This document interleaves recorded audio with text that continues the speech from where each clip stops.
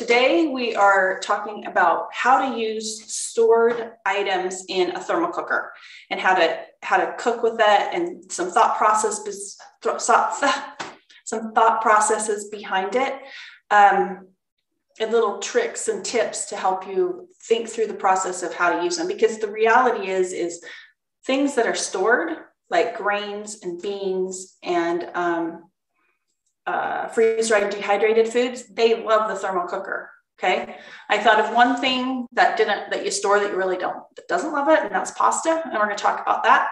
But for the most part, things that we store, they absolutely love the thermal cooker. So um, it's a great segue. I mean, it's a great thing to talk about because really the niche in thermal cooking, um, it has always been preparedness right? I use it for lots of things, but people seem to think that the best thing for thermal cooking is, you know, the preparedness minded people can see the value of thermal cooking, right? Preparedness minded and low resource settings. They're the ones that seem to really get it. Okay. Um, a couple things before I um, really get started in the presentation that I want to mention, because I don't know if I'm going to have them in the bulk of the presentation. I have, you know, the one that gets recorded forever I don't know. So I have several classes. I'm not sure for sure which date next month, um, but for sure this class will be at the beginning of the month, virtual class. I don't know the subject yet. So if you have some ideas, put it in the chat or send me an email and um, we'll pick one of what the subject will be. But it's at the beginning of the month because I, my son's getting married on the 25th. So I'm going to try and have everything done the first half of the month. And um, this next one is coming up, I think, on the 21st, and it's something different that I haven't done before. And uh, well, I can't say that. I used to do this kind of thing all the time. I would like make tons of food and have like detailed information on all the things, like the grains. In fact, I'll show you this. You see all these grains? See those?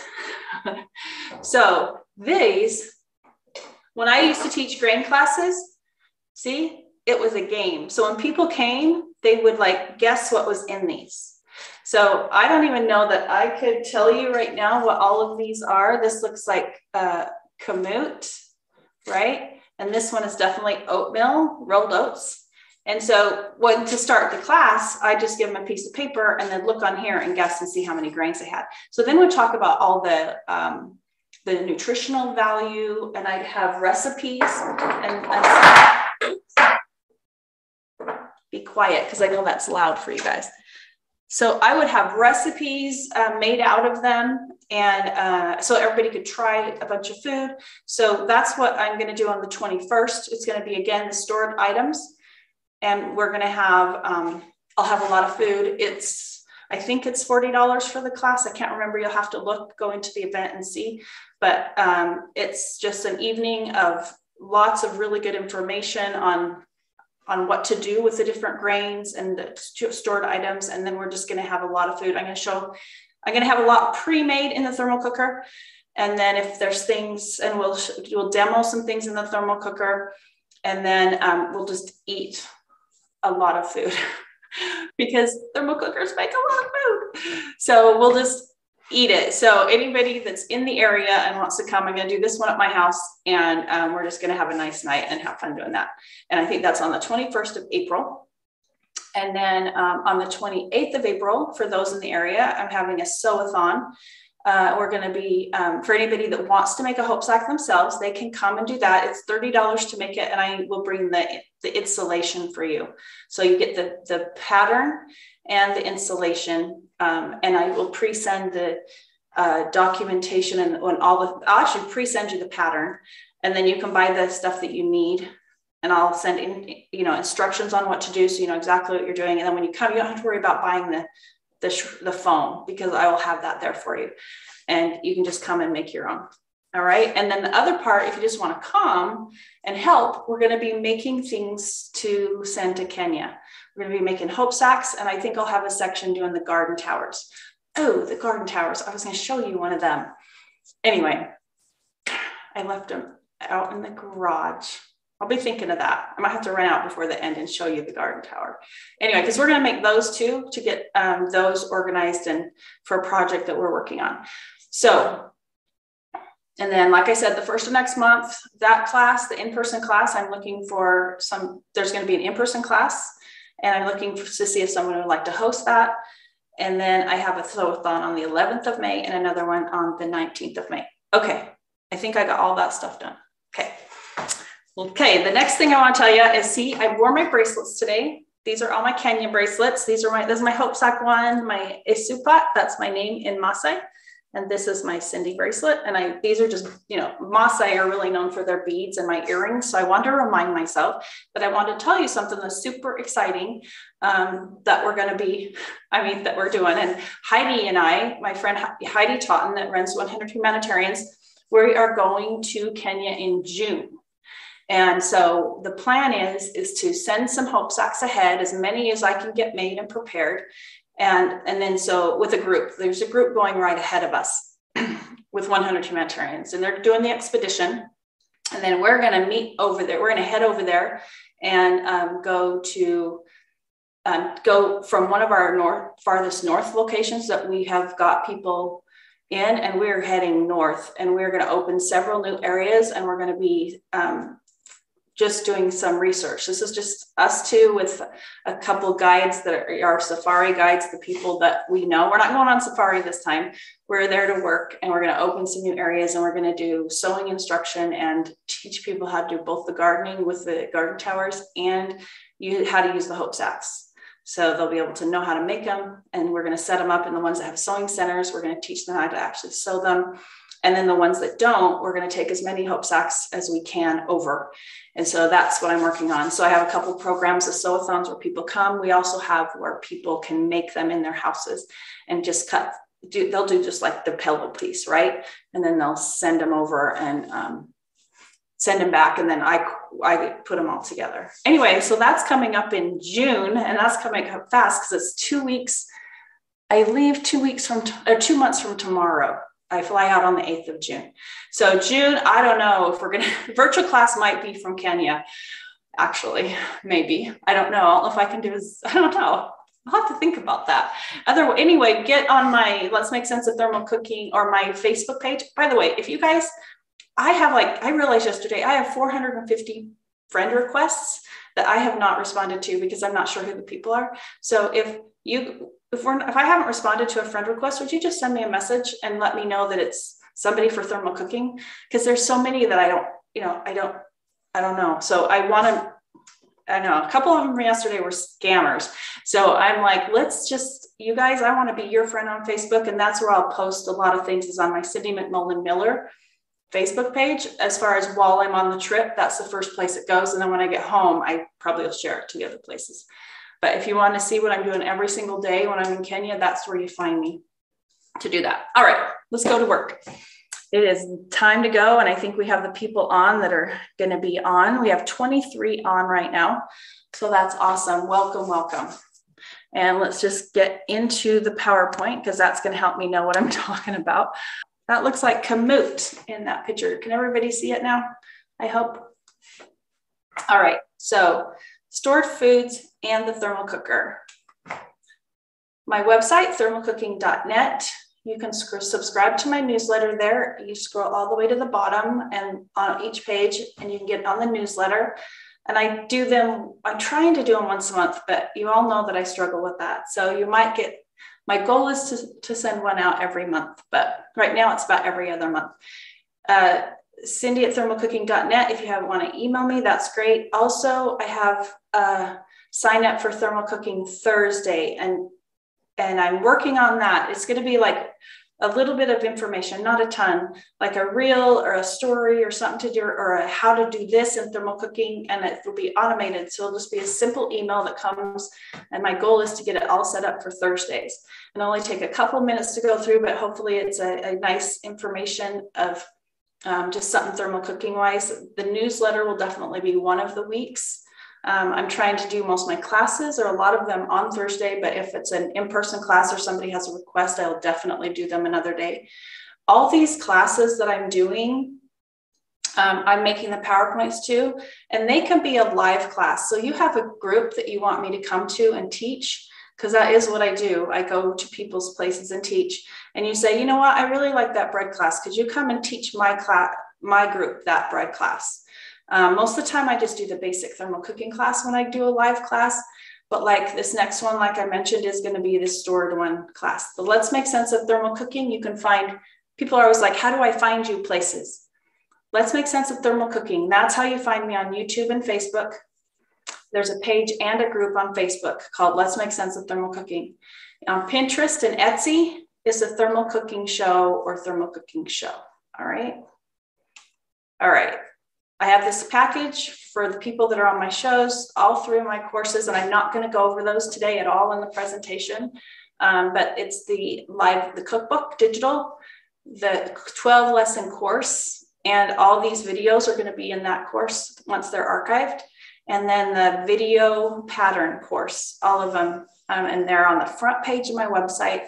You just scroll down and it says uh, Ultimate Combo and that's where you find it. And somebody just asked me yesterday, actually, maybe two people, where do I get that special that you talk about in your classes? This is where you get it, is on the front page of my website at thermalcooking.net. All right, in 2015, I published my book. Okay, here it is right here.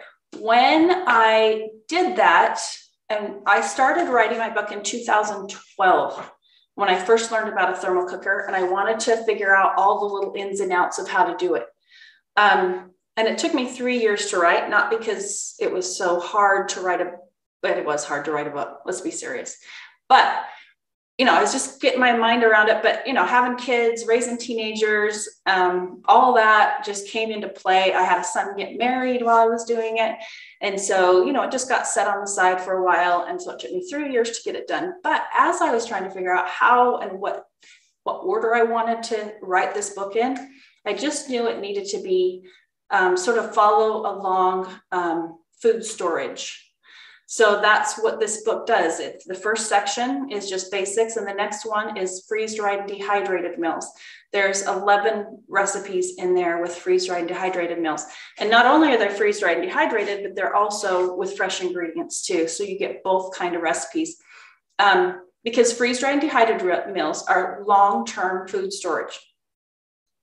And the next section I did, I called bucket meals. And they're like taking the 90 day food storage, like your canned items, um, things that you don't, that don't have as long of a shelf life. They'll last more than 90 days. But, um, you know, it's just the thought of things that don't last as long as something that might last 20 years, right? So, so that was the next section. And then the last one were fresh ingredients and how to use them in the thermal cooker. And then I went into um, grains beans, um, which both love the thermal cooker, and then pasta and fresh ingredients that don't like it quite so much. And then we did breads and desserts and like beverages and miscellaneous things that you can use the thermal cooker for. And so it's all a preparedness book is what it is. It's based on food storage and preparedness and how, and then also how to use it in your everyday lives. But the heavy part is really about how to use your food storage. So it just seemed like it made sense to teach this class about food storage. Um, I think I'm down to under 500 books left, the hard copies, and then I need to print again. And I honestly don't know when that's going to happen. Um, we sell on Amazon books every day right now and from my house. Um, because I sell them from here. My, they're cheaper on the website. Um, they're $25 on the website. I can't remember what they are on Amazon, but they are free shipping on Amazon if you have Amazon Prime. So that's maybe, you know, when people go into Amazon, they can at least find them. And we are, they're, they're selling right now. I think we sent in two, two cases a month and a half ago and there, I think we have like five left. So they're selling, I mean, you can see how it's perked up, right? The interest in thermal cooking has just skyrocketed in the last year. I wonder why. Anyway, that was a joke. Is everybody laughing? Just kidding. So let's go over super, super simple basic as far as thermal cooking. Most of you guys know this um, that have been on my class before, but you boil the food. You have to boil the food. You have to insulate it. You're going to put an insulator around it once it's it's boiled and it's going to trap that heat you created from boiling the food And then you're just going to wait.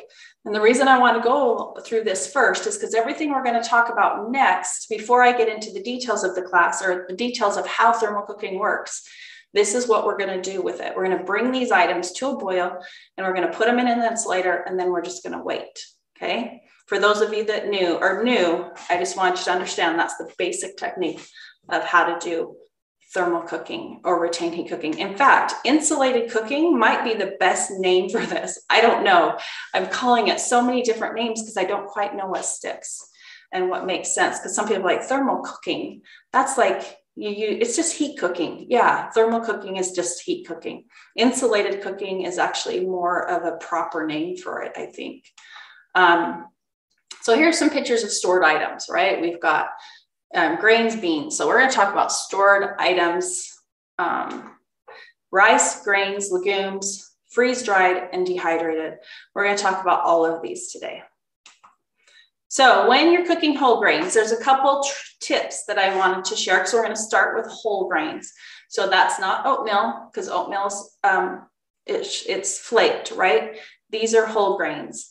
So when you're cooking a whole grain, um, you think about a whole grain and it's got a nice, I don't know, you can see some of, I don't know which ones can we see on here that are whole grain. It looks like up in the corner, there's a whole grain. I don't even know what that is. Something, it might be a, I don't even know. We're not gonna look at that picture. So whole grains, I have some here. Here's my kamut that I just showed. No, that's not kamut. This looks like oat groats. So we know that they have a heavy, um, like a thicker skin on them if they're not cut. So it's gonna take longer time to heat through and get these to cook. But whole grains are super, super, super easy to do in the thermal cooker. And at first, let's go off of this for a sec.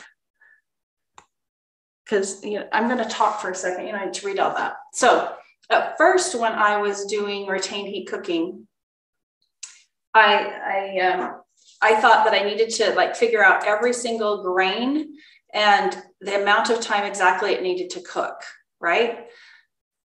But this is the beauty of a whole grain. You just bring it to a boil. It doesn't matter how much water you have in it because you're going to strain off the water anyway. So, even in my book last night, as I was reading through and getting refreshing my memory on the things that I had written about grains, it says, you know, you're just going to add eight cups of water. And then I have a whole different part that says, but since it's a whole grain, it's more about thermal mass right? Technically, if you were fixing it in a pan, you do like add eight cups of water to whatever the amount of grain was. But with retained heat cooking, all I would do is um, is put these in and bring it to a boil. Um, but the amount of water, it doesn't matter because in the end, I'm just going to strain off the water anyway, because the wheat berries or the um, or the oat groats or whatever they are, they don't, it's not like rice right? You're just going to strain off the water. So it's more about mm, thermal mass. We'll teach about thermal mass at the end of the class or later in the class, but it's about the volume that's in there to retain the heat and keep your food hot so it finishes cooking. The thing about grains is they're going to cook. It's not going to be a problem. Grains aren't too thick. Beans, they're a little bit harder to cook, but grains are super easy to cook. You're just going to put your grain in the pot, put the water in, some salt, bring it to a boil, let it boil for a minute or two minutes, put it in the thermal cooker because once it's boiled, it's going to be enough heat to finish cooking that grain, especially if you're leaving in there for an extended amount of time. And it'll just stay in there. A, a, a whole grain, berry or berry will stay in there for a long time in the thermal cooker without having a lot of problems. So let's look at what I had in the shared thing, make sure that we talked about the things. So, number one tip is that the whole grains to create extra. Okay, so this is a tip for for um, to utilize. Last week I had somebody on YouTube comment like, "You're using so much water to make the bread." Well, you're not really using that much water around. It's maybe two quarts of water, but I get their point. What are you going to do with that water? And I just said, well, utilize the water for something else, especially if it's an emergency. So she's worried about the water on the outside of the container to make the bread. I'm like, hey, that's hot water when you open it up. Can you use it to wash your dishes or something if we're in an emergency situation? So I understand that. But when it comes to thermal mass and thermal cooking, Um, sometimes you only have, you only want to fill the bottom of the pot. Let me get a pot out.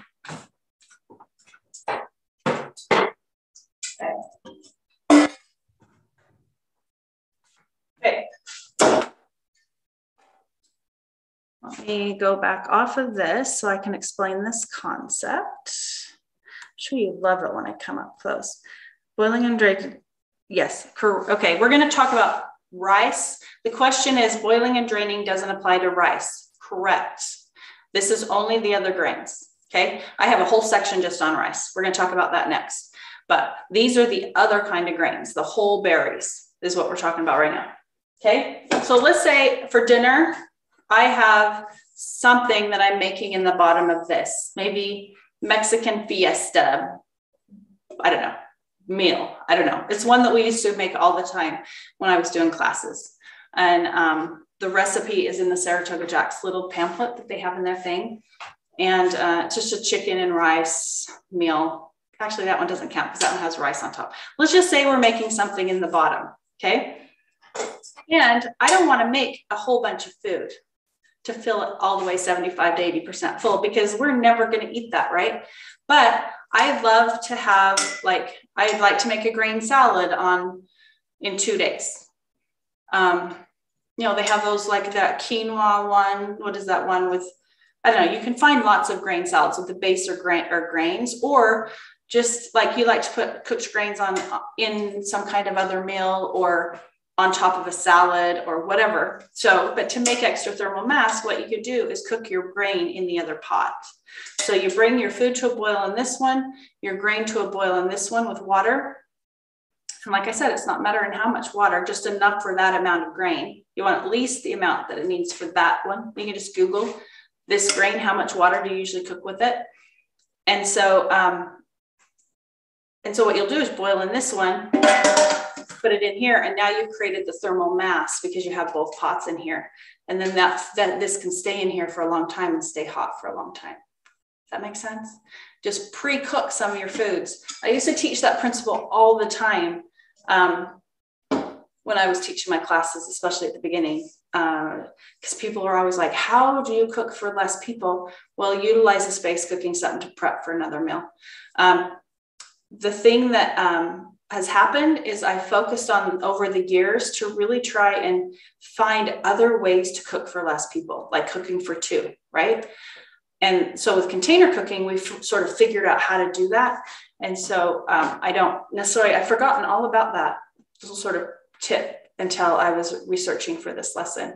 And it is a good one because you can then put, strain the grain off, put it in your fridge, and then you can pull it out for that healthy boost of nutrition um, for other meals, right?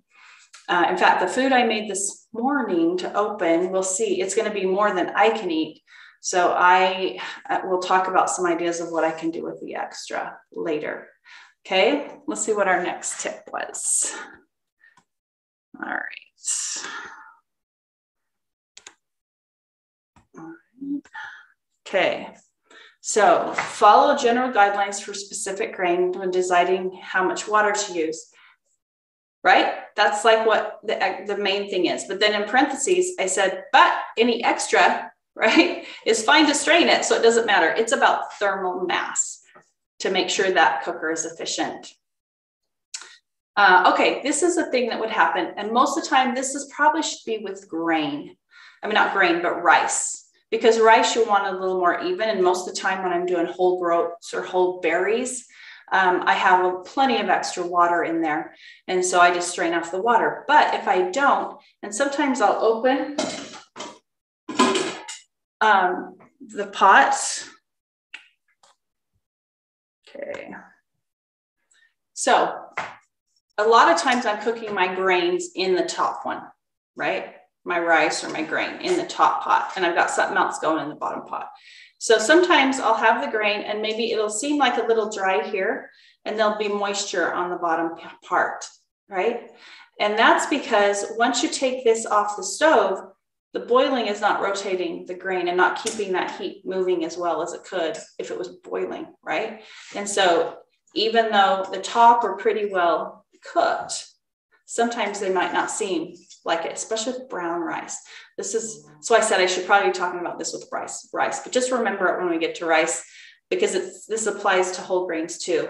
If the water you don't have as much water in there. So the bottom part has a little more water still in it, and the top part might be a little dry, but they're almost all, they're probably cooked or really close to it. I just open this up, stir it up, right? Try and bring the bottom to the top a little bit and stick it back in there for a little bit, maybe 10 minutes, just while I'm doing something else before dinner and then pull it out. It's made it so that now that moisture has has gone through all of it. It just it's moistened up those ones that were on the top that are now on the bottom, and then it's ready to eat. I get it that when we're not using a thermal cooker, it might cook a little different, but the point is you're able to cook it and use this by and save heat. So there are sometimes in thermal cooking things that you have to adapt a little bit that you're not used to. And sometimes I found that with grains and brown rice okay, with this type of a situation. It's just something, as long as you know the information, you can adapt it. Super simple.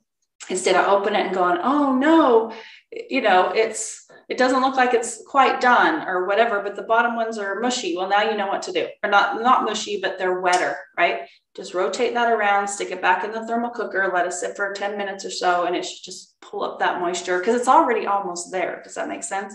You're just trying to spread out to make it more even texture all the way through. Okay. Anyway, I haven't had that happen for years. I totally forgot about that piece. So,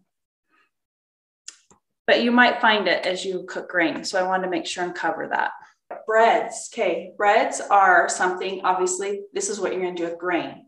You're going to make bread. All these grains can be ground up and used in bread. Some of them I sure wouldn't use very much. Like amaranth, man, that stuff is strong. I'm not adding very much to any kind of bread. But that's the beauty of grains is that you can grind them up and then you can make bread. So that's definitely something I wanted to cover in um, this class is because it's something we use with our brand, our breads. Um, the other thing real quick that I would make sure that you understand and have a knowledge of with bread with grains is know how to sprout them.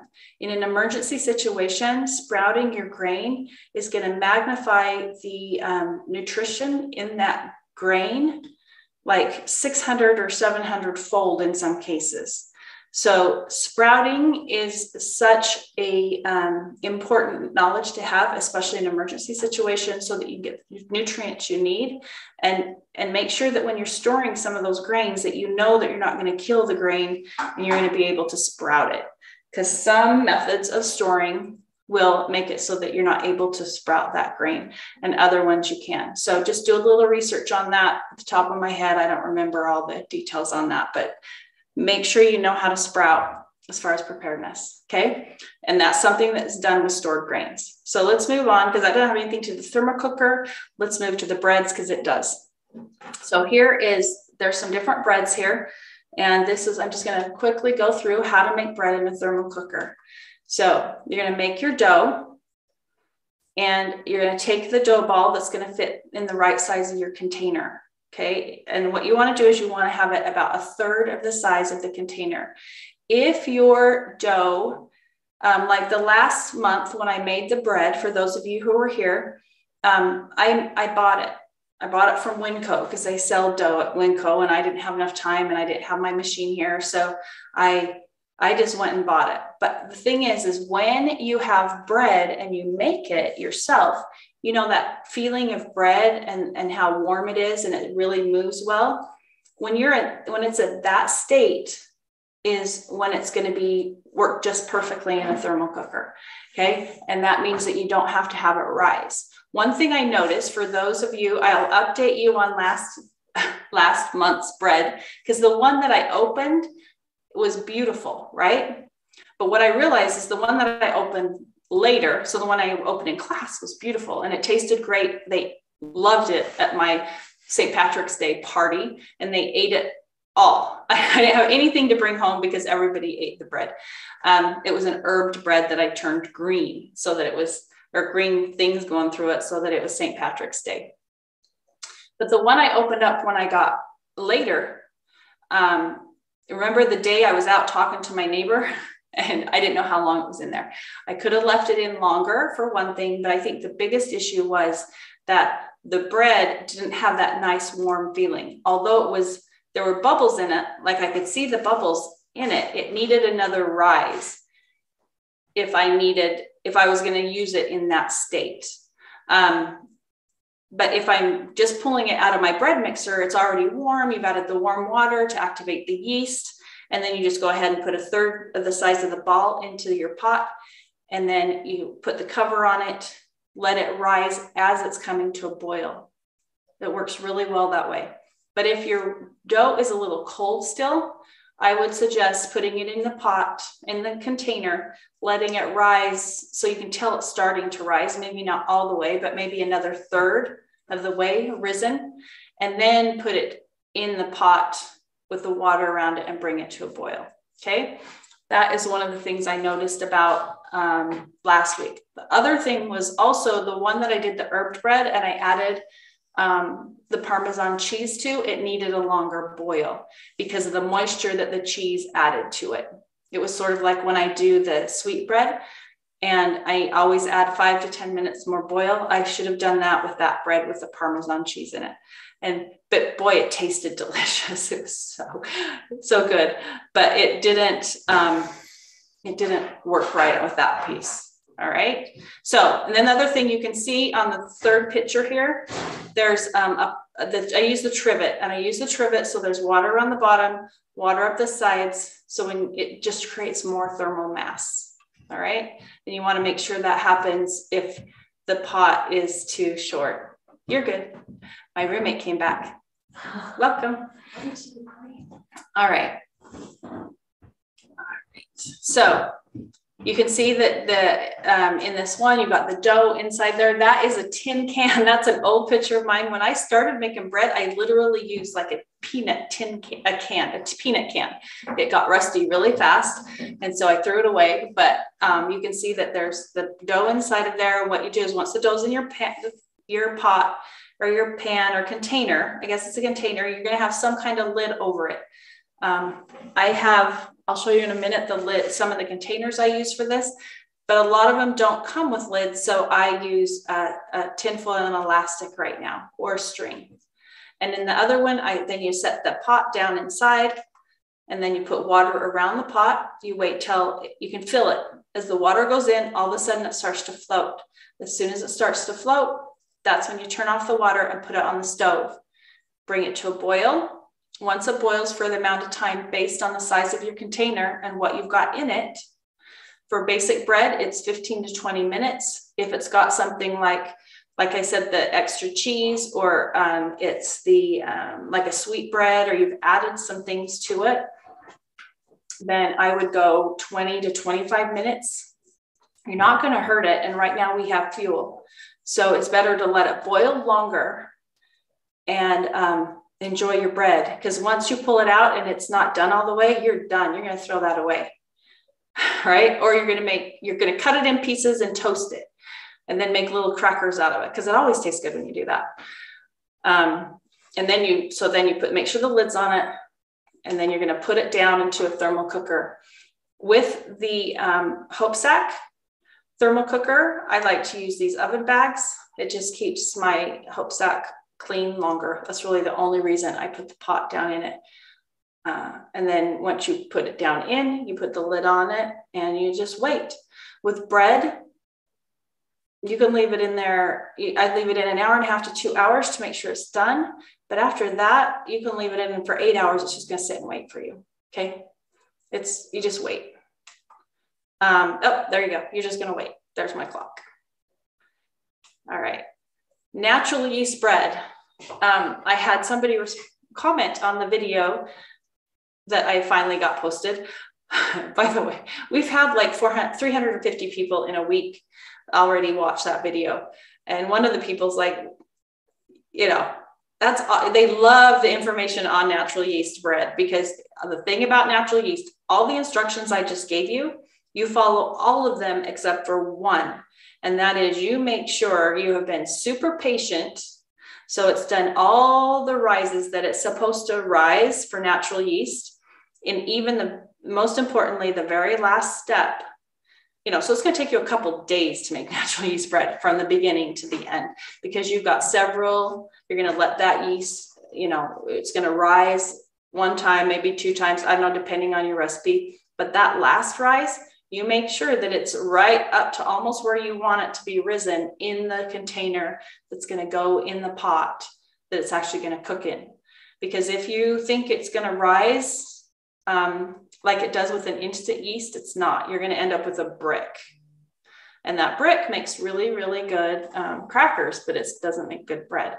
So, um, so make sure that you let that rise that last time and it's already in the container that you're going to cook it in and then go ahead and follow the instructions as before. You let it cook for i'd probably do a good 20 minutes in a regular container and then um, and then you just boil it and let it sit in there and it'll be delicious. It'll be great. It'll taste delicious. Like i showed you last week though or last month just air that out a little bit. Once you open your bread and you set it out i put it on a on a breadboard and just let it sit for a little bit or a rack and just let the air sort of pulls a little bit of the moisture that's because it is going to be a little bit of heavier dough or of heavier bread. And um, but like i said my by the time that did that and i went to my party everybody loved it. We'll be going over containers for bread uh, later in the presentation i believe. So the different containers that are here and i have them all in here so we'll talk about those later. Let's move to rice because rice is its own um, it's got its own challenges, right? Let's see what my other thing says. Okay, it's got its own challenges, and this is because rice is what you cook, and you don't want to have extra water sitting in it. So it has to be the exact amount of rice with the water with the thermal cooker. Okay, so this is what we found. It's this is rice and quinoa, and I wanted to put this recipe here. It's in my book. The reason I want to put it here is because rice and quinoa cook exactly the same. They require the same amount of water to the amount of rice. So in this particular one, it's two and a half cups long grain rice and one cup quinoa. Okay. In other words, if you wanted to do just rice, it would be two and a half cups rice. Or if you want to do just quinoa, it would be two and a half cups quinoa to four cups of water. Okay. Pinch of salt. And what you're going to do is bring it to a boil and let it boil for three minutes. And then you're going to put it in the thermal cooker. Okay. That is for um, the bigger pot. All right. That particular recipe, two and a half cups water to one and a half cup of rice fits perfectly in the, this pot. And this is a seven liter. So it's the top piece, right? The top two and a half liter pot it'll, it'll go, it'll cook really nice in here and it'll cook up and fit nicely into here. So if I'm, I used to cater, right? So if I was needing to cook for a lot of people and I wanted to do the whole thing, I would triple it for the recipe. It seemed like that's what I did. Tripled it. Oh, hope so. It's in here, there, there, and there, right? Probably did do a little bit more than triple, but that's pretty much how you did to fill the whole thing. And I started out thinking I needed to do more. And I remember messing up my rice so much. Don't think you have to cook way more. Test it before you want to make a lot, maybe. Um, and then I'm like, what I'm doing is I'm like way more than tripling it in this cooker. And then if you put too much rice in the big pot, right, and you're cooking, putting too much, it ends up super mushy or I don't know if the mushy is the right word. It's just when you have too much rice in there and there's not room for it to, expand, it doesn't taste too hot or the texture's off. So make sure you don't over over put too much in if you're trying to make a bulk amount of rice. Um, okay, so rice, the basic, so that's basically it. You put your um, your water, rice, a little bit of salt, set it on the stove, bring it to a boil. Once it's boiling, you let it boil for three minutes and put it in the thermal cooker or in inside of this pot. We've got food in here boiling already. Put this in there, put it in the thermal cooker, leave it for an hour and a half to two hours or eight hours. It doesn't really matter. It's just going to sit there. Once it gets to the warming temperature, it's just going to warm it. Um, Will it be done before for an hour and a half or two hours? Yeah, probably. Like I've mentioned before, when I talk about timing in a thermal cooker, I'm looking at um, if I'm making it in less than two hours and I want to eat it, I'm probably cooking it a different way. It's not always true with rice, but for the most part, that's how I wrote the book. So everything stays in there from two to eight hours or longer.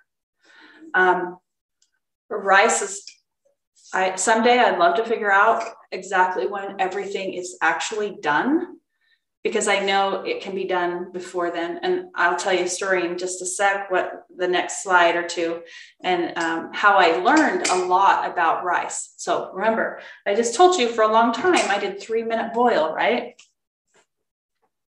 So let's see how we can adapt to that and what I found out. Unless I have another one ahead of here. Let's see what we got.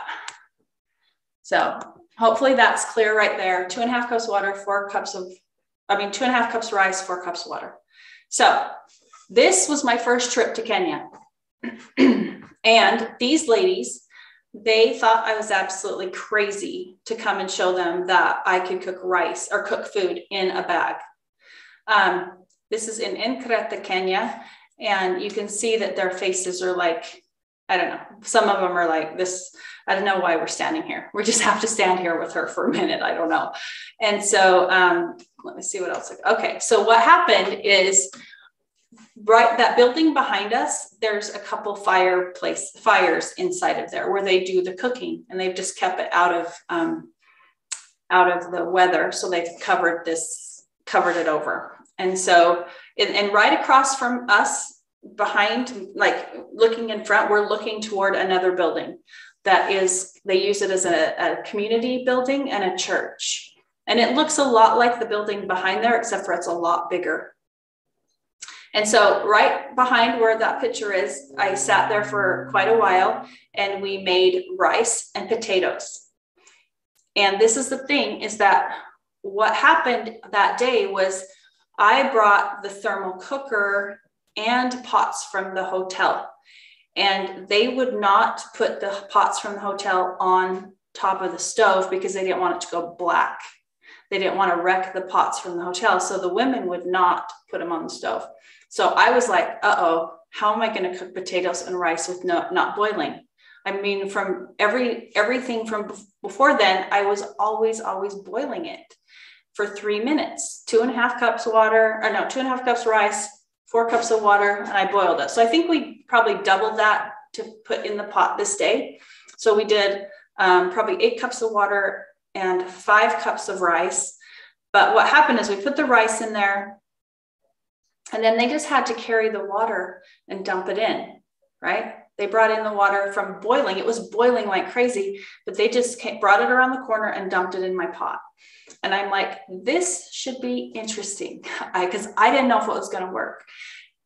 And then it was an, and then I didn't get my whole two hours because it, we got behind time and they just wanted to get it open. So we went into the other room place and I had two of these. One had rice, one had potatoes. They set them down and I watched my video yesterday and it was really interesting to watch because the women uh, they were just i was talking there and you could hear everything. And then right as we were going down to open these cookers up the rain started. And if you notice that's a tin roof. It was so loud. And i didn't get the video i would have liked because they were showing the pots. Whoever took my video was showing the pots. But i just remember the looks on those women's faces. And um, this little lady right here on the right i think the shortest one I think she's one of the probably the matriarchs of the, the area because she was the one in there just checking things out to see if this was going to work. And she was super interested to see if it was going to work. But all of these ladies were like in shock and happy that it had worked because when they opened that up, that rice looked absolutely perfect, which was super grateful for me. I was so grateful that it was. It was about an hour and 20 minutes. So this is just things you can remember and learn about that. It was about an hour and 20 minutes. And then um, but by the time I got done talking, maybe it was closer to an hour and a half. So it was really close to the hour and a half, hour and 20 minutes. And these women were so excited. And all I knew was that I didn't want to stir that because what really was happening, if you think about it, the problem I would have had is that, sure, the rice on top was cooked, but the weight of the water meant the water was on the bottom. I needed to adjust the amount of water to rice because I didn't get the opportunity to evaporate out any water, right? At four cups of water, there needed to be evaporation happen. There was plenty of water in there to, to expand the rice, which it did, and it looked beautiful, but the water on the bottom wasn't evaporated. So, um, what I learned from that is I don't have to have a three minute boil. I just need it to come to a boil. But if I can have it come to a boil, I'm going to have to adapt the amount of the rice. Have I done the math on that? Nope, I haven't. Because you know what? I'm home now and I can boil it for three minutes. And we have pots for them to use now in Kenya, and the boiling isn't a problem. When I went back and did the Hope Sack certification with them, that time we were under trees. Our kitchen was under trees. There were two fires going, and they had food going on both sides. And they showed me how they had learned to use a thermal cooker. And I think for that, they know how to use it better than I do for their their food right?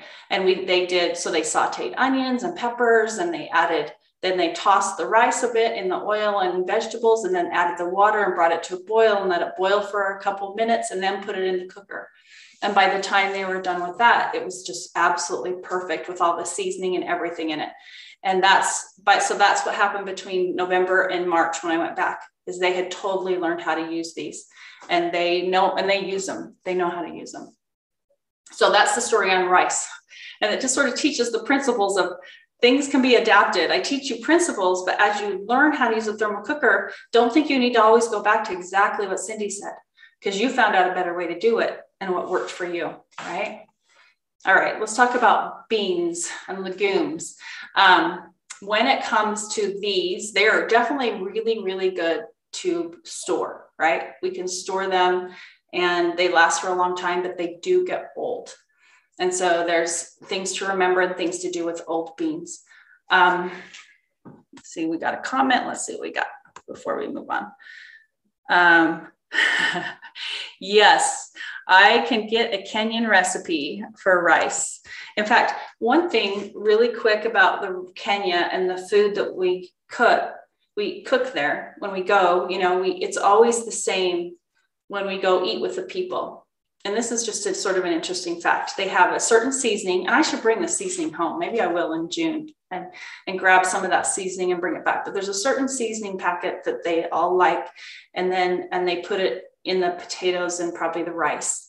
But they do potatoes, um, a potato dish, a rice dish, and they might have a little bit of meat in maybe the potatoes. And then they do a cabbage, a cooked cabbage. And that's what we have every time if there's a group of people that we're eating with. If we're at our um, guest house, we have a guest house on the Masai Mara that we stay at. And it's actually our group, it's 100 humanitarians. The Emperor a Cultural Center is what we're building. And um, the guest house has been built.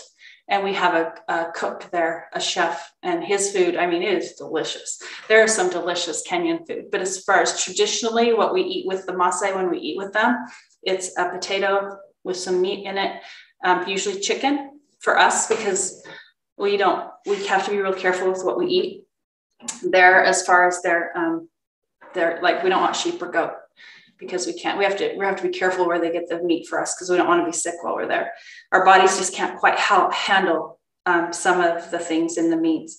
And then um, they do the rice, which is delicious. And um, then, like I said, the cabbage, and the cabbage is super good too, just the way they season it. Anyway, just a little tidbit. Thanks for that comment about Kenyan food. You're right, though. I'd really like to get some recipes from all the places and how they're using them, um, the places that I send the Hope Sacks and teach thermal cooking. It would be awesome to be able to get some of those main recipes back and add it to the um, the live cookbook that I have. And those are in my plans if time would slow down for me, that would be awesome. I don't know. All right.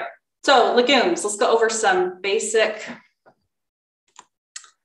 things about what I've learned about them. Okay, when I was writing my cookbook, people, there's always stuff about do you salt or do you not salt when you're cooking and soaking beans? I wish I could find this information again, but I remember I went to the library. I almost positive it was a Cook's Illustrated book. And it was something about myths in cooking. And they did all these tests. And one of them was, was with beans. And they said to salt it when you soak and to salt it when you cook. There's a really important step between the two, and that is to make sure and strain it. Strain the original salt water off, and then you put fresh water and new salt to cook. So I think in my book it talks about I think it's a tablespoon of, of salt when you're soaking. You rinse all that off, and then you put a teaspoon in to cook on a basic four cup. I don't know. Seems like it's a four cup. I've got it right there. Two cups. Yeah, four cups, two pounds of dried beans. All right. And I thought this is just the instructions I cut and paste off my uh, out of my book last night to make it a little easier. Pre-soaking is really important with legumes, and that is because it assists in digestion. You know, it breaks down that um, that enzyme that creates gas, right? So, or whatever it is that does it. So it's really important to pre-soak, and it helps not rob the nutrition from your body, but helps distribute nutrition. Um, and you want to also pre soak it because it saves fuel because you're going to cook the beans faster when it's time to cook them because you've already softened up that outside hard coating. Um, beans are a powerhouse of nutrition. And the beauty about, you know, people are like, how do I cook my beans? Um, to get them to cook quickly. We can cook them for, boil them for a couple hours or however long you need to boil them till they're done, which uses a ton of fuel. Um, you can also use a pressure cooker um, to cook them. And sometimes you can do that really fast. The thing about a pressure cooker is your temperature is going up a lot higher than if you use a thermal cooker um, because it goes like, I think 240. I don't really know, but it goes really high. It works. So if you have old beans that you can't get soft in some other way, use a pressure cooker because it doesn't matter at that point. You just want to cook it. But the beauty of using a thermal cooker is that it will, um, it's it keeps it not it's not going over boiling point, right? So you're at 212 basically to cook those beans. And you're going to bring, um, so what you're going to do, let's go over the things. This says you're going to start with four cups of beans, um, about two pounds of dried beans. And um, I've got a couple other notes in there. So I'm going to rinse the beans. I'm going to place them in a nice big bowl and add 12 cups of water or just fill them, cover them with water. I was writing a cookbook, so I had to come up with exact amounts. Do I do that in my real life? I don't think so. One tablespoon of sea salt, and then I let it sit for six to 12 hours. Then you make sure and rinse those beans off and then put them in the seven liter pot or a pot. This is a seven liter. You're just going to use the bottom. So the beauty of it is this is a seven liter. You're going to do at the bottom here. But guess what? So seven liter minus two and a half liters that fit on the top is right around five liters or four and a half liters, right? And this is a 5.5 liter. So the bottom of this and the top and this whole pot are going to hold approximately the same amounts. So you could do this recipe in the bottom of this or just use the whole thing of this. Okay. And that goes with any recipe. It took me a while to figure that out. Like I'm like, people, you know, with to help people that have the 5.5 or a five liter over a seven liter, people are trying to figure out the recipes. No, just if you have one that's going to fit the bottom of this, you're to have to add something in this top pot so you can do the whole thing with a smaller one. Okay. All right. So you're going to rinse it. You're going to put them in the seven liter pot or in this pot, and you're not going to put anything on top. Um, you're going to add water. This says eight cups of water um, and one teaspoon of salt to the dry beans. So the reason I added, so you're going to do that eight cups is probably what fits perfect in the bottom part of this one, right? And then it leaves me um, enough space to add something here. All right. If I don't want to add something here, what I'm going to do is just finish filling this with water because then it's about thermal mass. It doesn't matter because you're going to strain off the water. This one, I'll probably add a little bit more water because it's still got a little more space in there that I could fill with water. All right. Okay, so then you're gonna bring them to a boil. Once it's to a boil, you're gonna let it boil 10 minutes, and then you're gonna put it in the thermal cooker and leave it at least six hours, okay? If they're old beans, that's the trick. There's little things you can add to soaking them. Some people soak them in distilled water and swear that works. Some people add soda and say that works. Um, there's just a whole bunch of, you know, ways to try and help those old beans get soft. If you open it up and they're still hard, you can stick the pot back on the stove and bring it to boil and boil it and you know boil it another 20 minutes or whatever trying to soften those up If in the end the beans will not go soft, you might just grind them for flour. You can do that. Just make sure you're adding it to other things too, because something made with straight bean flour might be hard, a little hard to digest, especially if you're not used to it. Um, anyway, so there's some basic information on beans. This is the bean recipe that I made. Um, I found this recipe and adapted it to what I wanted to do. This is super simple to make. And what I usually do is just, um, once I have my beans rinsed and, and rinsed and soaked, I just dump all this stuff in the thermal cooker in here. So I take um, a can of diced tomato, a pound of beans, and I think uh, it should say, if I double this, I can't remember to fill this. Somewhere I, I say that. I think it's definitely more than what this is. I'm thinking it's doubled to do that. So it's probably two pounds of beans, two cans of diced tomatoes, um, and so once it's it's there, the beans have been high, uh, hydrated. Then I'm going to put them in here. I just dump the tomatoes in, the green chilies, bacon. I cut up onion and drop it in, and put the seasonings. Right. Um, you can do it where you put a little oil and saute the onions. I haven't really done that. I mean, for this particular recipe, I just showing, I'm just showing how to do it fast. And I just dump everything in and then I bring it to a boil, boil it for 10 minutes and put it inside of a thermal cooker or hope sack. The cilantro is used at the end to top it.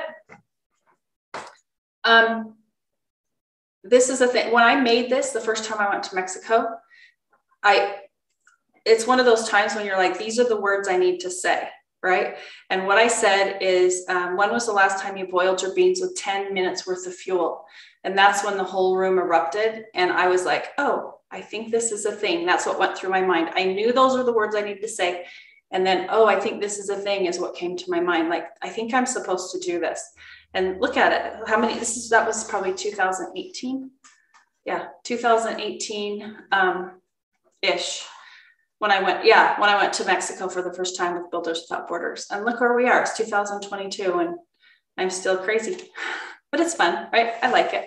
So um, anyway, that's the basics on beans. Um, if you can think of anything else, those are the, I think we hit the most important points. You can have lots of success with beans. Um, anyway, lots of recipes out there for beans. So let's talk about freeze-dried dehydrated meals. Like I said, I have 11 recipes for this in my book. So I mix and match freeze-dried and dehydrated, but obviously a couple tips and when you make recipes this way. Um, when you open a can of freeze dried stuff and it has a date on it, immediately when you remark your, um, your jar to put a date on it, you're going to right off the top take off five years to, to extend the life for the life of it.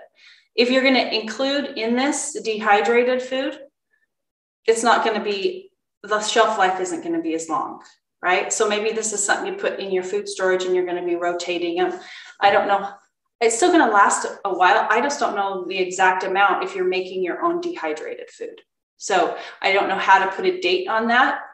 Um, I, I like dehydrating my own stuff, so I do do it and I'll add it. But my mom does have a freeze dryer now, so we can actually do the freeze dryers ourselves too. And then then it's the same thing. How long does it actually last? I don't really know so far. I just um, really enjoy uh, using the freeze dried dehydrated meals and having them in food storage. But the basic principle in knowing when to put the stuff together is just if you're opening a can of freeze dried stuff, you look at the date and take five years off. What I want to show you is I should have put the picture in here, but I didn't. So I'll show you this that's in the book. But this is black bean soup, right? So this this is a, this is the ingredient, and I know it's backwards, but it's I think it's backwards for you guys, right? Anyway, I'm not going to find that out. So this is for one meal. This is what fits in a jar or in a container, but I've made them to fit in a jar just because then it's I can have some kind of consistency. So the idea is if you make this once and you really like it, um, yes, the chicken and broccoli recipe is in the book. It is in the book. Okay, all those recipes are. In fact, I can show you that one right now, I think. It's more like a casserole, so it's gonna come out thicker in the end because it's gonna absorb all the water. That's the same thing. Here's the instruct the ingredients, and then here's for one jar. Once you find out if you like it, then you, you can buy this amount of bulk and have 12 jars or 12 containers and divide it up with this amount in each. And then this amount makes 12 of those. Okay, just ignore those two lines. They don't matter. And then this right here is the instructions, which are also in the back of the book. So you can just make a copy of the page and then you can cut them out and put them on your jar. Okay. Also, if you get a digital form of this, a digital one, um, it, it should come with also that information. Like the live digital book will have it in there and the other digital. It's also, there's a place on my website. If you can't for some reason get it, you can just email me or look around in my miscellaneous stuff on my website and I've got a downloadable um, thing for those pieces. Okay. Hope that made sense. I think it made sense. I don't know. You guys will let me know, right? If it doesn't make sense, something I say, so I can fix it. Anyway, so here's um, back to this picture. So here's that, yep, the chicken and broccoli casserole. It's definitely in the book because we just looked at it. And then here is the, um, this is the Italian wedding soup or the zuppa toscana. And this is freeze dried. Um, this I, or and dehydrated because honestly i think i use the potatoes or mostly just dehydrated potatoes in this. So it's a combination of the two. And since i'm buying them you can look at the the same thing and take five years off. That's what i do if you're buying the freeze dried stuff or the dehydrated stuff. And if you look at the one on the right it's a different potato. And i put that in there. Um, Okay, yes, we will let you know. Thank you. We yes, this will be able, you'll be able to watch this again. In fact, because you're registered, um, you will receive the email that has it on. I'll put it on YouTube for a couple weeks or so, maybe three, I don't know, whenever I get around to taking it off, and I'll archive it into the course. Okay. And I'm going to break up little pieces and put them on YouTube when life decides to give me some time so that we, I do more reels, right? I think reels are important to get my numbers up in YouTube because people are going to watch so much. Very few people are actually going to watch this all the way through again, right? Um, a few will that are missed it and they want the information, but it's not going to be the masses. Um, the last one, I, last time I checked the bread one, the average was 11 minutes watching right? And it's an hour long, it's an hour long, but the average is 11 minutes because that's just how it works with YouTube and people watching videos, which is fine with me. It's just the reality of it. If I get each little section out or get different sections out and I do them short, do some shorts. That's what my plan is, I guess. Reels or shorts, I don't know. With time. Okay, we talked about 90 day food storage, right? So I have another section in the book where it talks about 90 days. And you can see this recipe right here is uh, looks like taco soup. And so I've used in it several items that I've prepared. You can see that I've I've made tomatoes from my garden and I did some hamburger and I bottled some hamburger in the pressure cooker.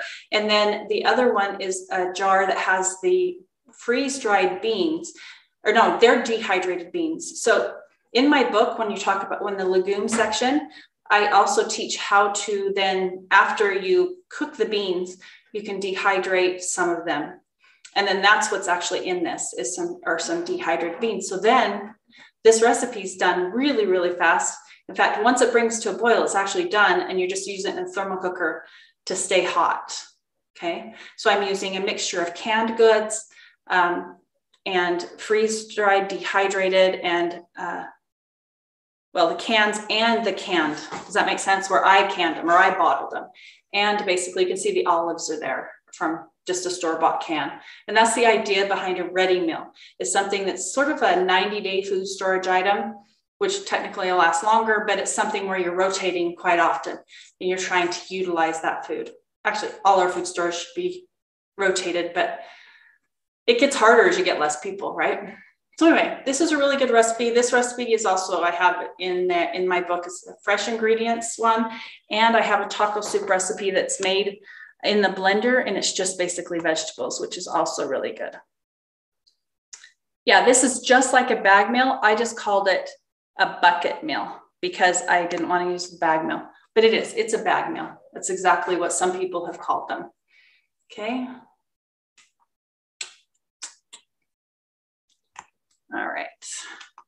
So pasta.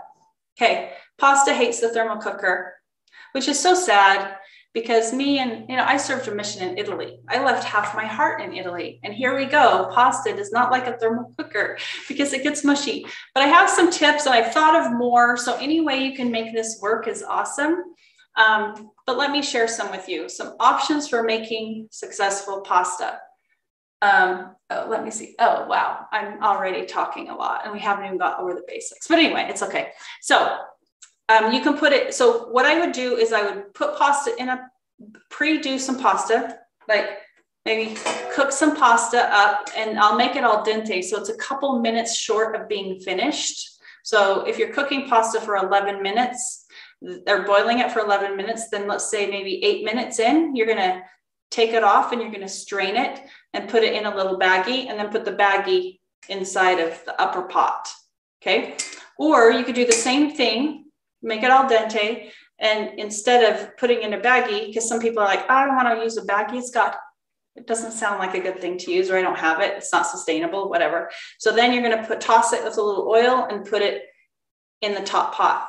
And then if you've got something that you're boiling here, you can actually put this in and the lid on and then let it boil for a few more minutes and let that heat up and get some hot um, you know, get the thermal mass going again. But once you've taken the water out, it's going to soften a little more, but it's not going to add more water to your pasta. Because believe me, I have made it and opened it like four hours later, and it's so mushy, you have to throw the whole thing away. It's not going to work. So you can also adjust time. You can make it like normal, put it in a thermal cooker. And if you're going to eat within two hours, then you're good to go. Um, those egg noodles seem to last three hours okay with this technique. If it's going to go more than that, you want to use another way. If it goes over that amount of time, do a different one. Use less liquid. So go to my book and look at the lasagna recipe. This is the best way to explain it. Um, we're just going to not put as much liquid in it. And it's, I even use those like baking noodles, the baking lasagna noodles and then they absorb less, you know, they're just made for baking and it absorbs that amount it needs. Um, so there's little tricks you can do like that. Um, that's not something that's actually going to come to a boil. You're just going to carefully not want to scorch it, let it heat up. It's not going to get to the full boiling point. So you're going to manipulate a little bit with how long it will stay hot.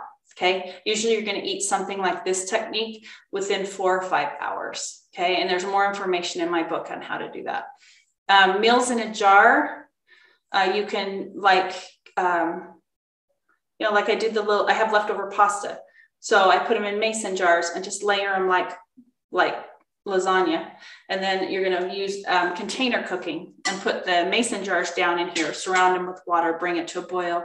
And then the pasta is not going to be too mushy because it's exactly the amount of liquid that you need in it. And they're not going to go mushy.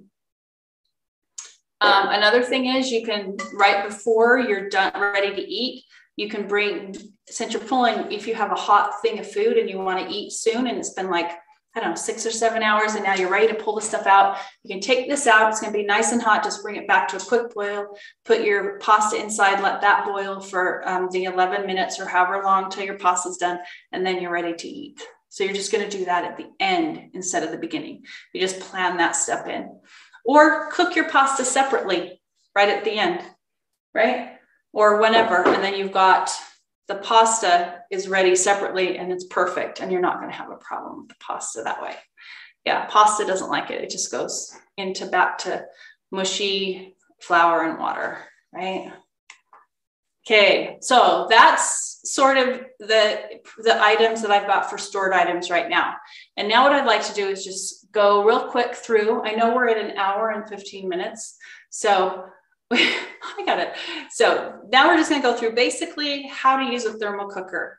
And so the, the questions that you might have as far as some of the basics, we can answer them now. So these are the benefits of retained heat cooking or thermal cooking.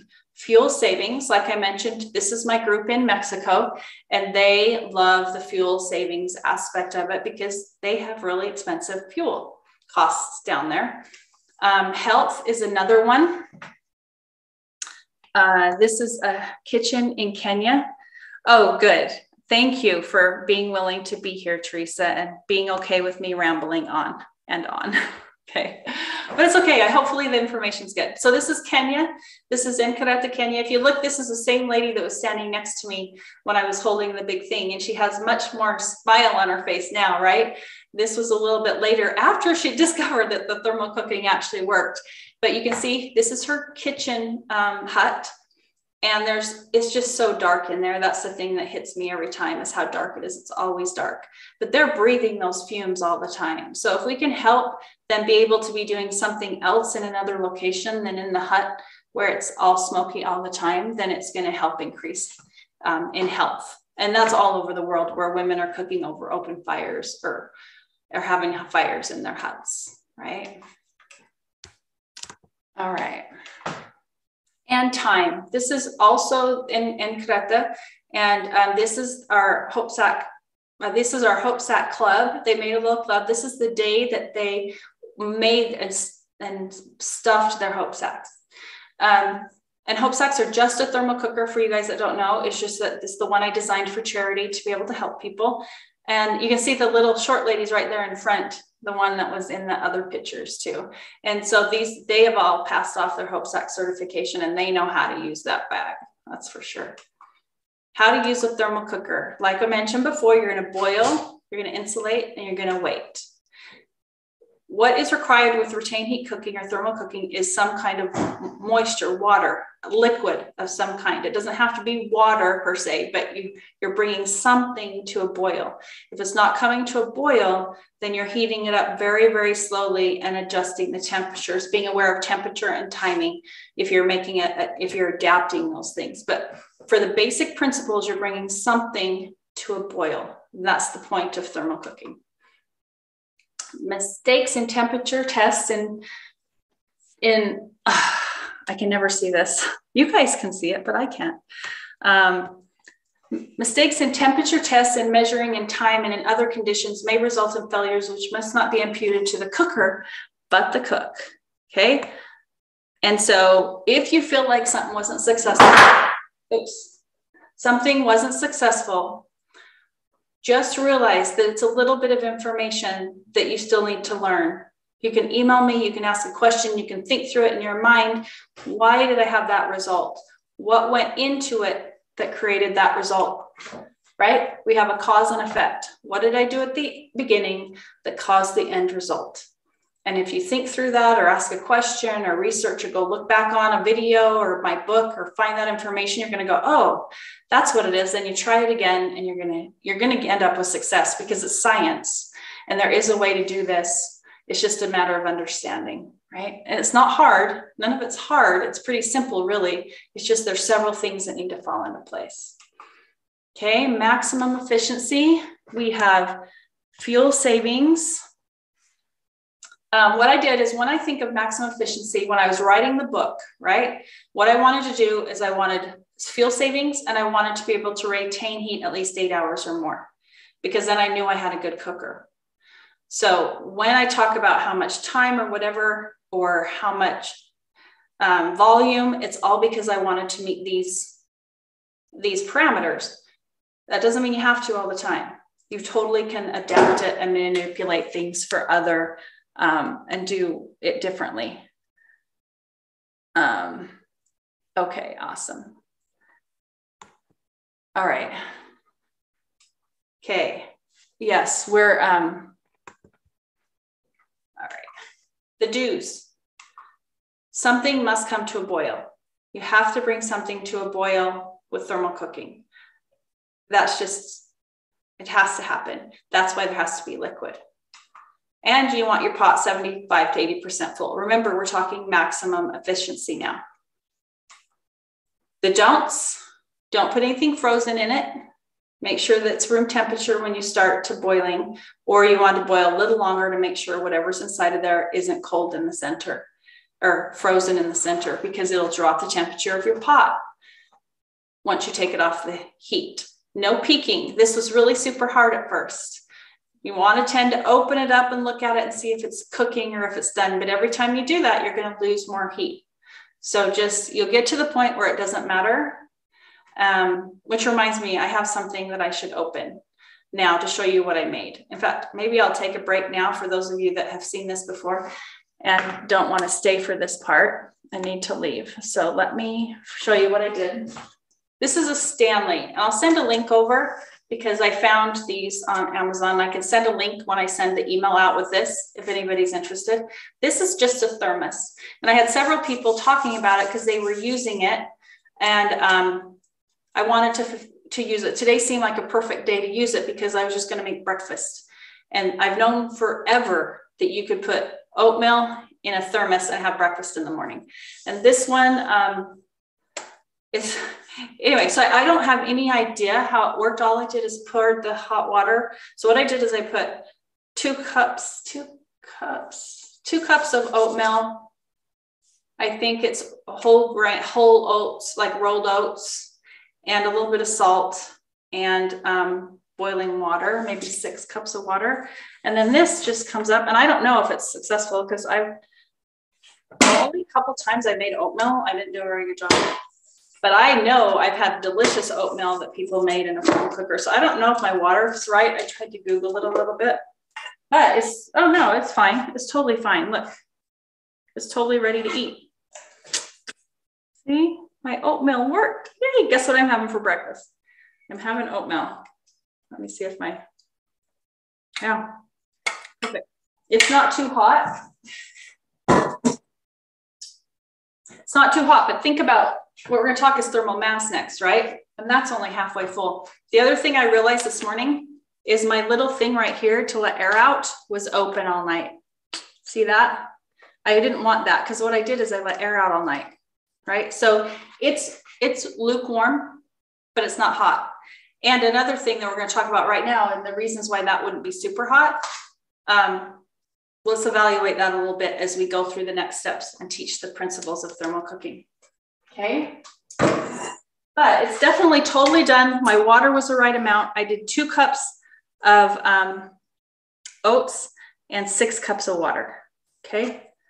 And that's what it is. What I'm going to do with this, so I'm to have some for breakfast, probably with some um, fruit, dried fruit, nuts, a little bit of um, uh, almond milk, and, it, and honey because I have honey from the bees, which is delicious. And then I might make some cupcakes or something out of the rest, right? Because I'm not going to, or else I can save it for other mornings.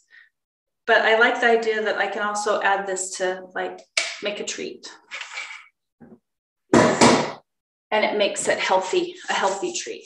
I do that a lot. When I used to test a lot, because I'd come up with so much extra food, I'm like, how can I use all this extra food? Especially when I was using grains. So there we go. Um, okay, let's get back to the presentation. That's actually good because we're going to talk about, like I mentioned, some of the things that I just, what we just saw a minute ago. Okay, and I, I put that in last night at midnight. Was it midnight or 11? I don't know. And so it's been, been in there 10 hours and it's still warm, right? And it's a smaller unit. We're going to talk about that right now. So that's going to teach us. Okay, so principles of thermal cooking. We've got thermal mass, which means the amount of. So in that particular pot in the Stanley, I um, wasn't able to bring it to a boil. I just poured hot water on it. So it's going to decrease the temperature right there, but it's only half full. So the space of air is going to, right there, is going to drop my temperature right there. Because when we talk about thermal mass, what we're doing is we're taking something and we're putting heat into it. Like when we put it on the stove, then we take it off the stove, the heat's going to go out of it, correct? So, what we're doing with retained heat cooking or insulated cooking is we're adding insulation. So, first we put it on the stove and the heat goes in. Then we add an insulator so we add insulation on the outside part. So as the air tries to go out, it's stopped and it goes out slower. Okay. So there's several types of insulators that we're going to talk about. That particular one is a vacuum. A Stanley is going to be a vacuum sealed insulator, which is one of the best. That's why it's even warm at all. after 10 hours, 10 or 11 hours, it might even be 11 hours. So what we do is we've got, so you're gonna insulate the pot. So here, here you can see I have two, two insulators that are exactly the same and two pots that are different sizes. So if I bring the pots to a boil at the same time and I put them in the insulator, well, first of all, if I bring them to a boil, which one's gonna, which one's gonna come to a boil first? It's never going to be different ever. The small one will always boil first because there's less thermal mass. All right. So then, if I just let them cool by themselves, the small one will always cool the fastest because there's less thermal mass for the exact same reason. But let's say that I brought them to a boil. And um, then, as soon as they were both at a boil, I put them inside of these these exactly the same insulators. And then I wait and see how fast they cool. The one that will cool the fastest is exactly the same. It will always be the small one because there's less thermal mass. But what happened was I added an insulator so it will extend the amount of time that it will stay hot. All right, it'll stay hot longer. Both of them will. In fact, the Hope sack loses about two and a half degrees an hour if it's filled with shredded foam. Okay. Is it possible to have the smaller pot retain the heat as long as the larger pot? How? Since I put how on there, you can probably guarantee that it definitely is going to happen. You can find ways to have the smaller pot retain the heat as long as the larger pot. This is the first option that everybody sees right off the bat, add more insulation. So if you look at the Saratoga Jack 5.5 liter and the seven liter Saratoga Jack, um, what you see is that the pots actually look close to the same size. The difference is that the 5.5 has added extra insulation to compensate for less thermal mass. So they retain heat about the same. Speaking of Saratoga Jacks, Amy and Jack messaged me last week and they decided to place another order for these cookers. She says she's going to order 300 cookers I don't know if, I mean, that's what she said. So she's taken pre orders for them. I've already posted them on my website. So if you would like to pre order them, that means you're going to pay for them however long ahead, which is now, and then you're guaranteed one when they get there. Um, and it will come sometime in summer, late summer, I'm guessing, or into the fall. I have no idea. Last time it took them from uh, February till August to get here. But they have been in high demand lately. I still have people calling me and asking me for them, and I don't have any, but at least I can have them ordering. I also have an idea that might help with the seven liters. And if it comes about and I'm able to pull this off, we might actually get some ahead of time. So if you end up ordering a seven liter and I can figure out how to come up with the exact same thing, I'll reach out to you and let you know that of what it is, and you can have the option to either wait for them or or um, and see if you want my other option. I can't say it yet because I don't know yet, but I'm excited if it works because then I have another way to to have cookers because so many people want them. Okay. Uh, a seven liter will feed 10 to 12, depending on what you're fixing. Okay. Um, like if I make, if I, I, I have a potluck dinner, that's just like making a meal in a seven liter. They say 10 to 12. But if I have a couple, let's say I'm making um, potato salad and baked beans, I'm filling them, it's going to serve way more than that because I'm going to take them maybe to like a potluck dinner and I'm going to serve 30 people with it.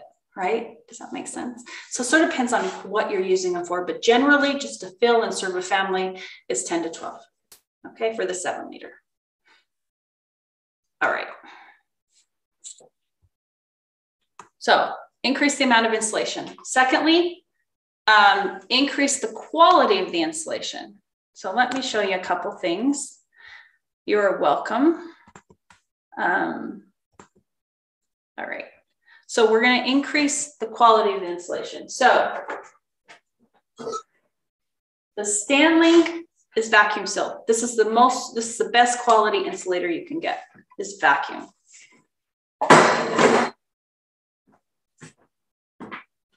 Um,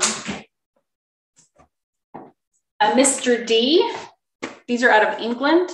is a vacuum sealed. So like the Stanley, the insulation is great on this one too. And this is a three liter, by the way. Saratoga Jack is a foam unit. It retains heat. This unit is going to retain heat just a little bit longer than this one, but this is seven liter and this is three. Okay.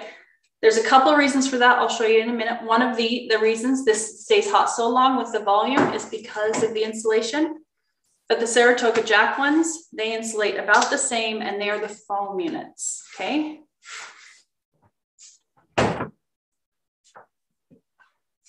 And then you can find handmade ones. This is obviously the Hope Sack. Um, they also have Wonder ovens and Wonder bags that are made with fabric like these. This, this particular um, one loses two and a half degrees an hour. Just to put that in perspective, this, if it's full, we'll leave we'll lose around seven, six or seven. Okay. This one, these are the same, six or seven. Okay, six or seven degrees an hour. So um, that sort of gives you an idea. I have a tiger. This tiger is a six or seven liter. I'm not exactly sure. I'm guessing it's close to a seven. And um, because it's a vacuum sealed, it's going to probably lose less than, I'm guessing around five. I haven't tested it. Okay.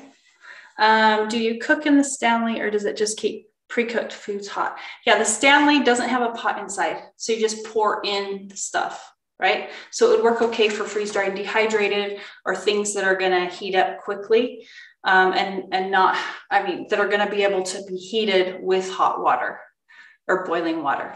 It doesn't have a pot to boil. This has a pot inside. They're actually going to bring the pot to a boil. It's more about temperature because the food's going to cook for a certain amount of time until it drops to a certain temperature.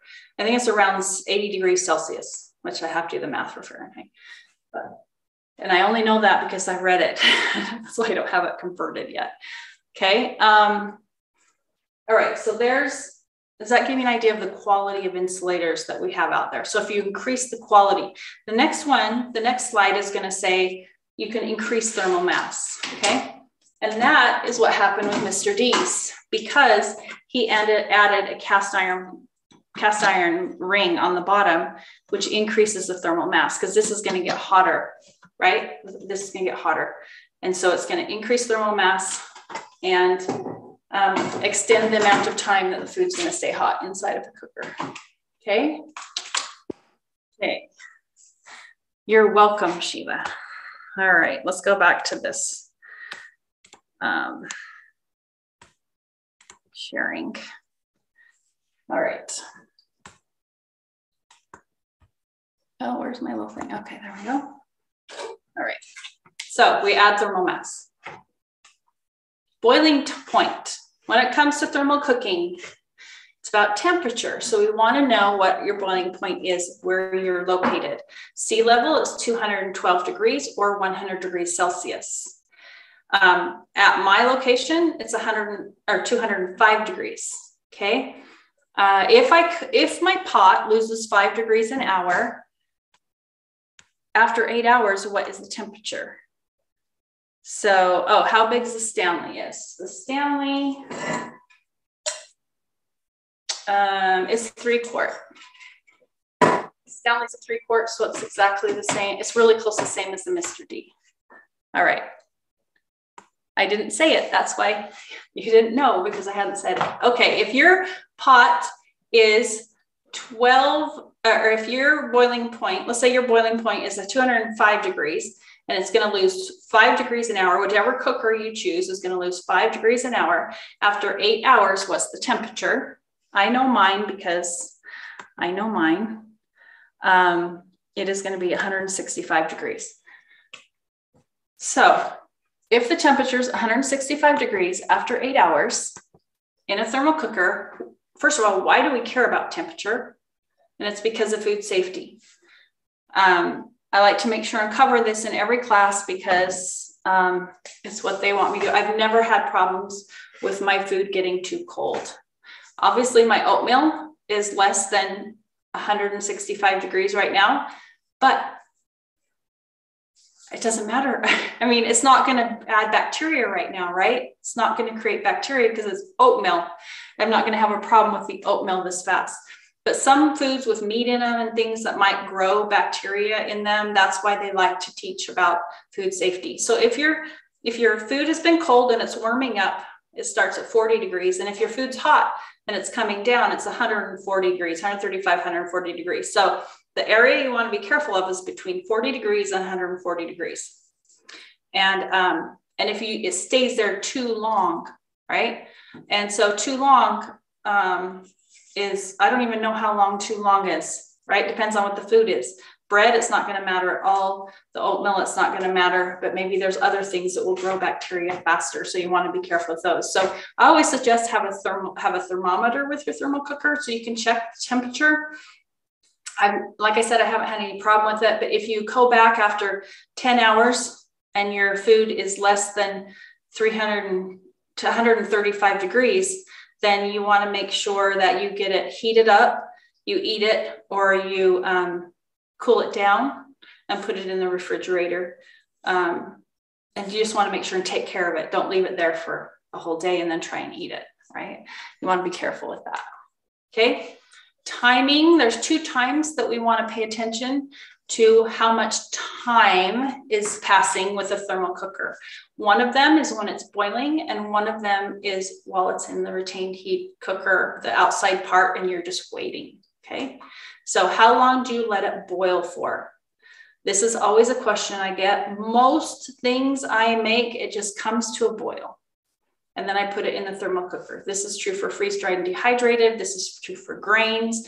This is true for um, almost like um, my, anyway, in, anything that's going to cook quickly, right? It just needs to make sure to come to a nice rolling boil, unless you're going to scorch it and then you're going to manipulate the temperature and the time. But as long as it's thin enough that it can come to a boil, most things just need to come to a boil. When I think about how much time I have at boiling, I look, I think of the meat. So if my meat is about, can't see the picture. We'll talk about it without this picture here. So if my meat is maybe an inch thick, I like to leave it at least a four minute boil. Um, can I cook longer? Yeah. Longer doesn't matter. This is just, I'm trying to save fuel. That's why I say a four minute boil. If it's thicker, like if I cut my roast about this thick because I want to save fuel, so I cut it in strip like chunks, that's a 10 minute boil. If I want to do a round roast, it's like a 25 minute boil. Okay, because you need to think about you're boiling the water on the outside and that heat needs to penetrate in, it needs to be hot enough that it's continue, it's going to continue to keep that food hot and cooking to get it cooked and to make that meat tender. All right.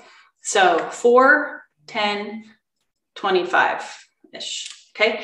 Another thing to think about the same thing about those sizes is if you're using containers.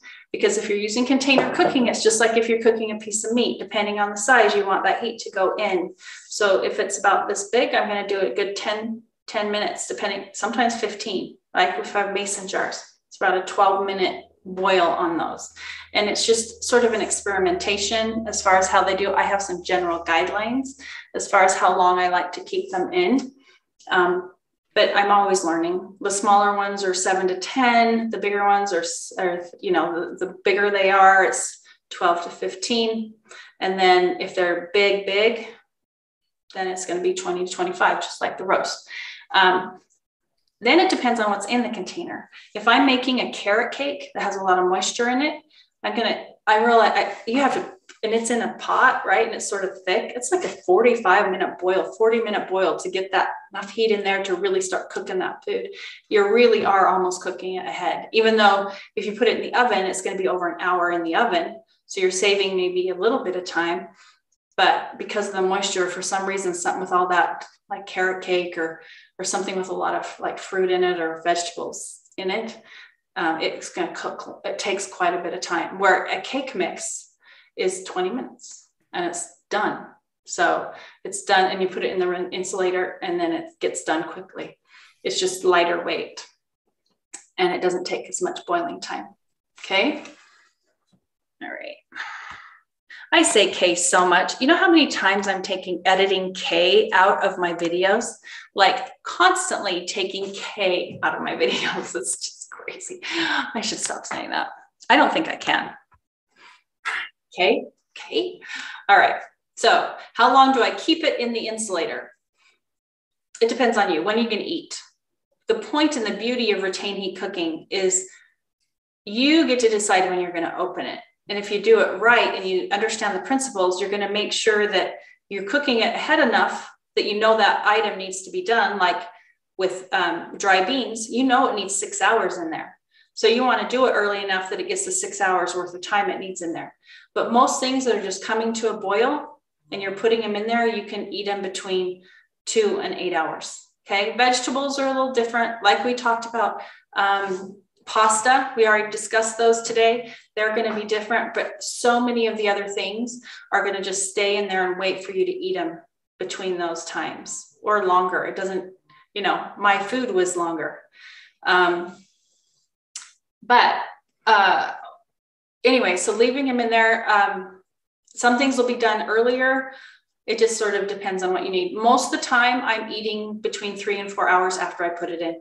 That just seems to be like when I start getting ready and then when I'm when I'm ready to eat. But it really is up to you. That's the beauty of retain heat cooking. It frees up your time to do what you want to do till you're ready to eat. Okay. All right, we made it to questions and be thinking of any questions. I'm going to go through the last two slides, which you've already seen. Here's my website, thermalcooking.net. That's also where, um, like we mentioned, if you want any of the Saratoga Jack thermal cookers, you can get them there um, subscribe. That's also, you can subscribe to the newsletter. My email, if you have any questions, feel free to email me. Um, if you wanted, if you're in the area and you'd like to host a class, that would be awesome. Uh, here's my YouTube, Facebook, Pinterest, and Etsy. I'm trying to think of where else I'm on. I'm on a couple others, but I don't do much with them yet. And so once I do more with them, I'll let you all know where they're at for more information. Thank you, Mary. It was very fun to have everybody here. And then again, here's my ultimate combo pack there. So let's go off of share. Here we go. And see if you guys have any questions. Um, okay, so making the cake, question about making cake in a thermal cooker. It's exactly like what we said the bread was. You're gonna use whatever container you want. Let me show you a couple containers with that question. And one of the things I do have on my website are containers still trying to find, um, I'll show you in a sec. Okay, so mason jars are my favorite. They're everywhere and they're cheap, right? So I will put bread in here or I'll put cake in here. If I want it to look more like a cake, I'll use this. Okay. Um, okay. If so, I'll put my bread in here. If I'm doing Okay, one of my favorite things to make. Well, if I do a cake, I can put it in here, right?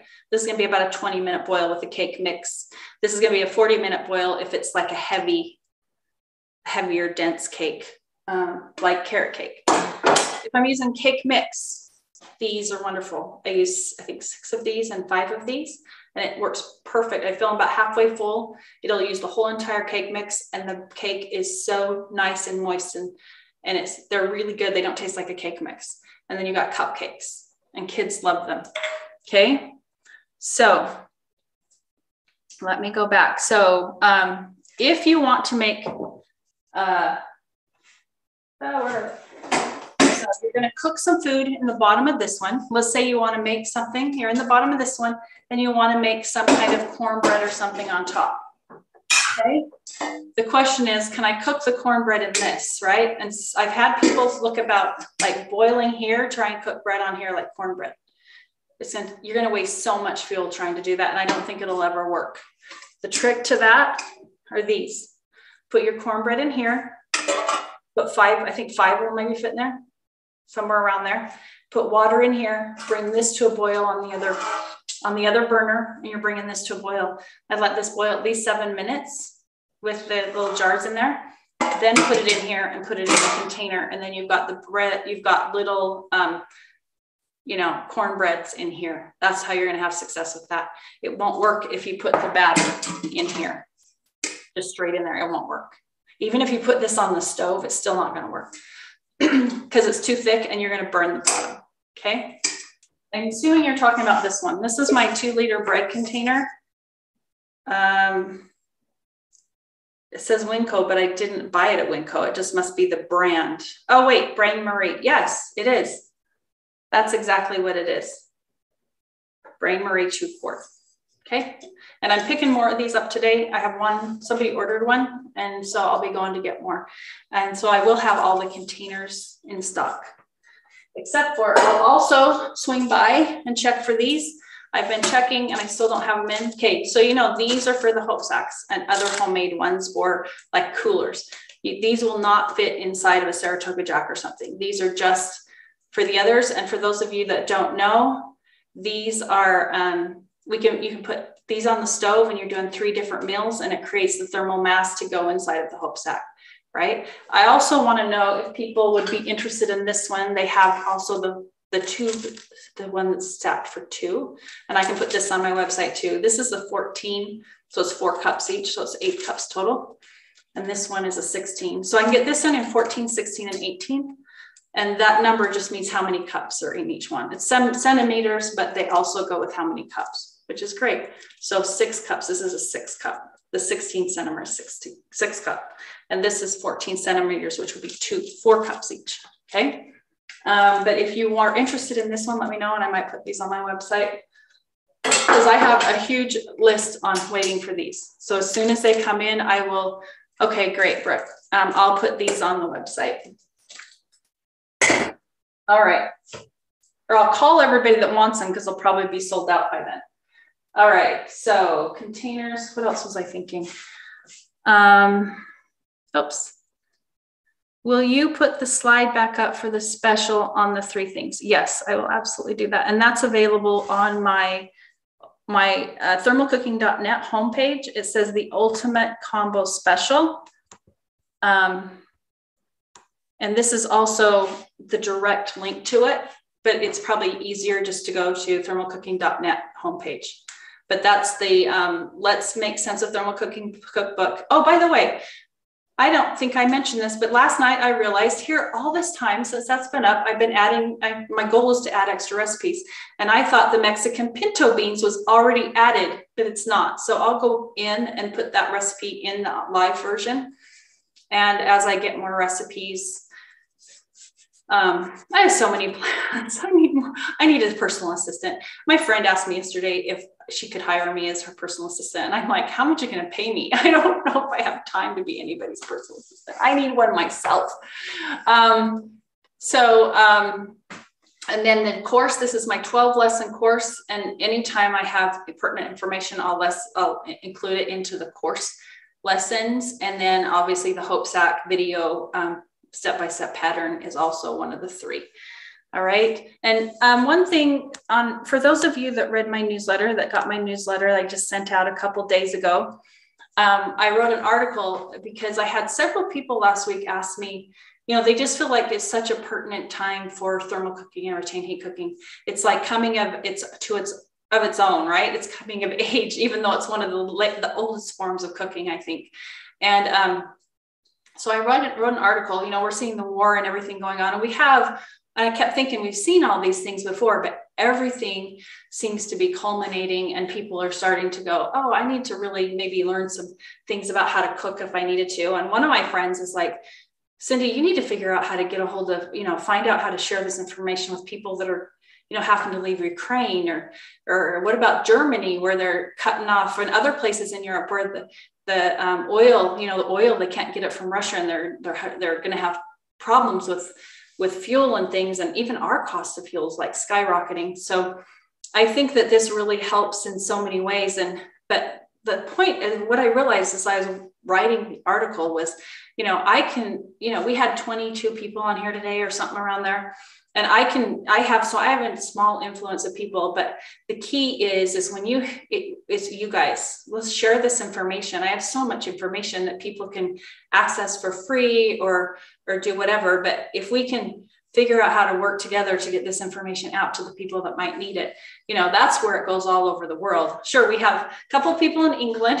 In fact i there's a lady just this week that she does what i do in kenya sort of. She does things in kenya like we do in kenya and she wants to go teach thermal cooking and she looked me up and or heat cooking. She's like oh my heavens you're already done exactly what i want to learn how to do. And i'm like well tap in because I am happy to share what information I have. So, um, anyway, so thank you guys all for being here. And we almost went two hours today. Oops. Anyway, you know I can talk. You guys already know that. So, anyway, just uh, let me know what you need. I guess I'm like, I'll go run my errands, get my products in that I need for you, and um, sort of nice being done by 11. Oh, now I can go see if my grandkids want to ride with me. I don't know.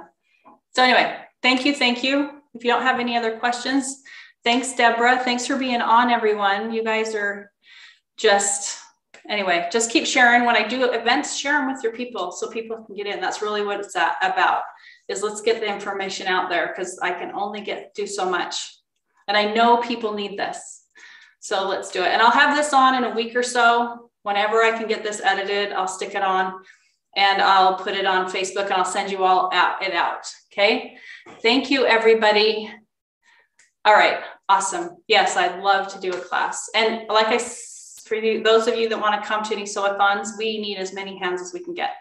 Oh, and you know what? We did a homeschool group yesterday. So if you're tied into any groups that you want us to come and even talk about 100 humanitarians and how to help with humanitarian work, it was an excellent presentation, if I must say so myself. It was really good. The, the kids, they were teenagers. They just were like, it wasn't about like necessarily what we were teaching them, but it was, they were really like getting excited about what we did. But it was like the underlying thing was, how do I find what my passionate how do I find what I want to do to help people in life, right? And each of them, you could see their little minds going. Well, not little, because half of them were taller than me, but you know what I mean. It was really, really a good experience for kids to get re- feeling like, you know, they can really help in the world. So anyway, uh, we we also do that. So we go around and we can talk to groups of people about 100 humanitarians. So okay, homeschool ideas, awesome, Brooke. Let's do that. Oh yeah, yeah. So I'm so glad you're on here, Brooke. I know she's gonna come. She wants a thermal cooker, and I think I can hook her up, right, Brooke? Anyway, we'll talk to you later, everyone. I'm out. I'm gonna start getting busy. Thanks for being on.